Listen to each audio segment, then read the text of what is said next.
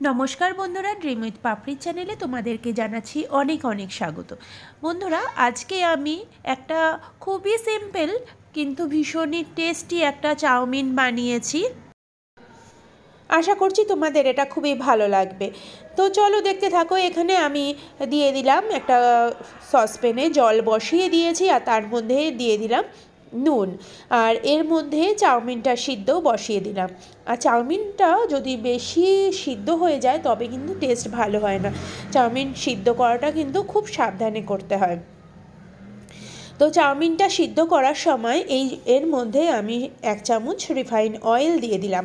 তাহলে কি হয় যে চাউমিনটা কিন্তু একটার সঙ্গে একটা গায়ে গায়ে লাগবে না। চাউমিনটা ভালোভাবে সিদ্ধ হয়ে গেছে। চাউমিনটা যদি ওভার কুক হয়, চাউমিনের টেস্ট কিন্তু একদমই ভালো হয় না। এবার দেখো চাউমিনটা খুব ভালোভাবে আমি জলটাকে ঝারিয়ে নিয়েছি আর এর মধ্যে আমি ঠান্ডা জল দিয়ে চাউমিনটাকে ভালো করে ধুয়ে নেব। এবার কড়াইতে আমি বেশ খানিকটা রিফাইন তেল দিয়ে দিলাম। তেলটা খুব ভালোভাবে গরম হতে দেব। তেলটা গরম হয়ে যাওয়ার পরে এখানে দারচিনি, এলাচ আর গোলমরিচ, তেজপাতা আমি ফোড়ন দিলাম।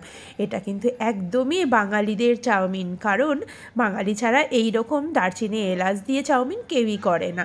তো এখানে আমি শীতকালের সমস্ত সবজি যেমন বাঁধাকপি, ব্রোকলি, গাজর আর মটরশুঁটি আমি দিয়ে দিলাম। আমার ঘরে এই কটা সবজিই ছিল, তো আমি এগুলোই দিয়ে দিলাম। তোমরা আরও অনেক কিছুই দিতে পারো, যেমন ক্যাপসিকাম, বিনস, এগুলো দিলেও ভালো লাগবে।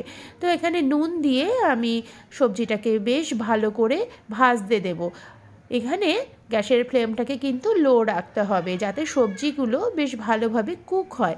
এবার ঢাকনাটা দিয়ে আমি রেখে দিলাম কিছুক্ষণের জন্য। এবার দেখো কিছুক্ষণ পরে আসলাম। এখানে সবজিগুলো মোটামুটি অনেকটাই সিদ্ধ হয়ে গেছে। এবার আমি এখানে আদা কুচি আর লঙ্কা কুচি দিয়ে দিলাম। আদা কুচি, লঙ্কা কুচিটা দিয়েও বেশ ভালোভাবে আমি ভাজবো। সবজিগুলো মোটামুটি ভালোভাবে ভাজা হয়ে যাচ্ছে। এর মধ্যে দিয়ে দিলাম টমেটো কুচি। এটা দিয়েও বেশ ভালো করে ভেজে নেব। খুব ভালো করে নাড়াচাড়া করে ভেজে নিচ্ছি। এরপরে দিচ্ছি হলুদ গুঁড়ো। তো এটা অনেকেই অবাক হবে যে চাইনিজ আইটেমে আবার হলুদ গুঁড়ো কেন দিচ্ছে। তো বাঙালিরাই বেশিরভাগ আমি দেখেছি হলুদ দিয়ে কিন্তু চাউমিন করে। এটা হলো বাঙালিদের চাইনিজ। কিন্তু এর টেস্ট কিন্তু অসাধারণ হয়। তো দেখো এখানে আমার বেশ ভালোভাবে ভাজা হয়ে গেছে। আর চিনি দিয়ে দিলাম একটু। চিনি যাদের খুব একটা ভালো লাগে না, যারা অনেকেই রান্নাতে চিনিটা পছন্দ করো না, তারা চিনিটা স্কিপ করে যাবে। আর এর মধ্যে দিয়ে দিলাম আমি চাউমিন সিদ্ধ করে রাখা। তো এবার চাউমিনটা দিয়ে খুব ভালো করে নাড়াচাড়া করব।